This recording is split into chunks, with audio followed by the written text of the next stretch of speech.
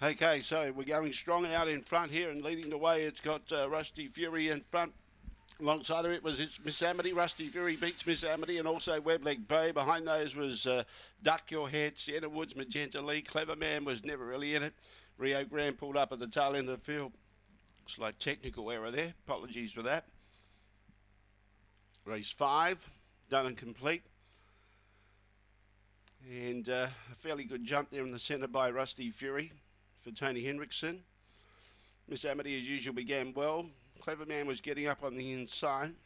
Duck your head just behind those with Webleg Bow, but Rusty